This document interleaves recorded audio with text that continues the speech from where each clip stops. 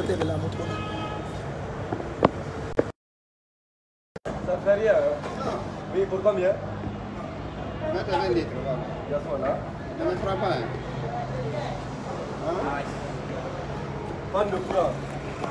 ça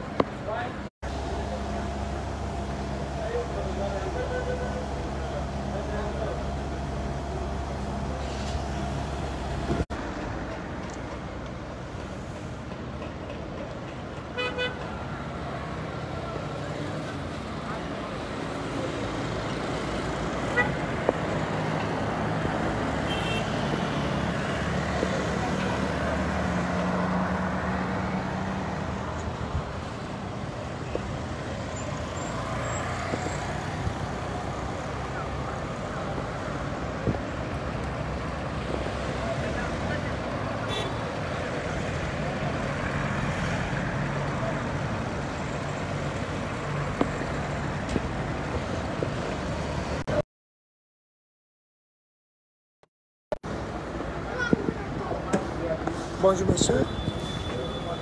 Bonjour monsieur. Bonjour. Présentez-vous. Et moi c'est Kanté Alia. Oui. Euh, je suis employé euh, à la station Prima Santa de Kipé. Oui.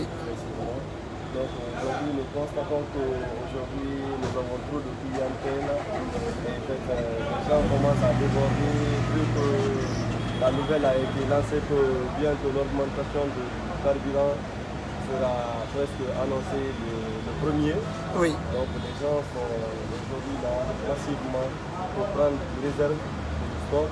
Ici que le prix le, de 9 000 à 14 000 d'après ce que nous avons appris.